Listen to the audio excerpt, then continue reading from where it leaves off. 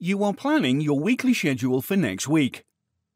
You bring out your weekly planning map and fill out this week's dates, number of days out of 365, and events under different categories. But before you go any further, what do you do with this information? How do you implement this weekly plan effectively and visually? Well, you can use the built-in planner that syncs with Google Calendar in MindMapper 17.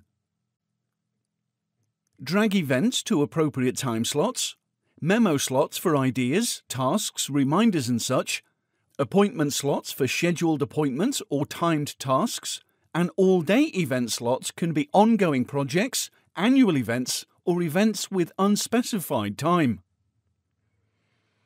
We are going to drag Lawyer to the all-day event slot, since we don't know when he'll be coming. Events that I have dragged over from the map creates a hyperlink in the planner to the topic in the map. So, if you click it, the cursor will move to the topic in the map.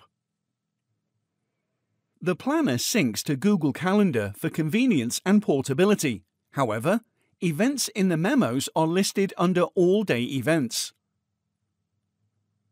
plan it, calendar it, and implement it with MindMapper 17.